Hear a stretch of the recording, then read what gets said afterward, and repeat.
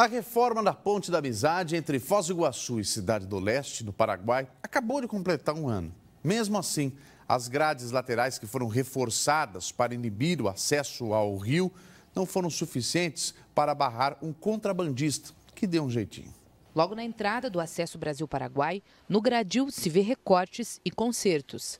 Era por aqui que os contrabandistas costumavam lançar caixas de produtos não declarados. O que era para ter ficado no passado retorna a ser uma realidade.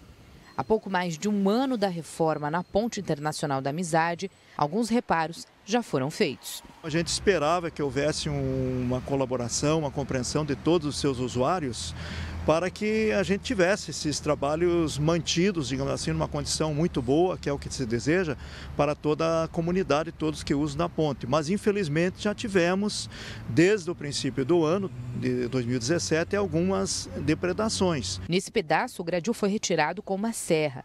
É que lá embaixo existe uma rota dos contrabandistas.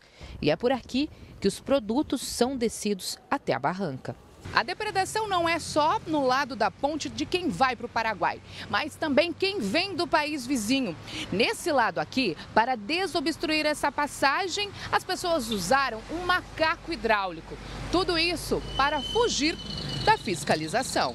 O DENIT, responsável pelas reformas e amparos da obra, afirma que sempre que ocorre o dano ao patrimônio, comunica aos órgãos responsáveis. Entramos em contato com a Polícia Rodoviária Federal e Receita Federal, que repassaram que as fiscalizações continuam sendo feitas em toda a zona aduaneira.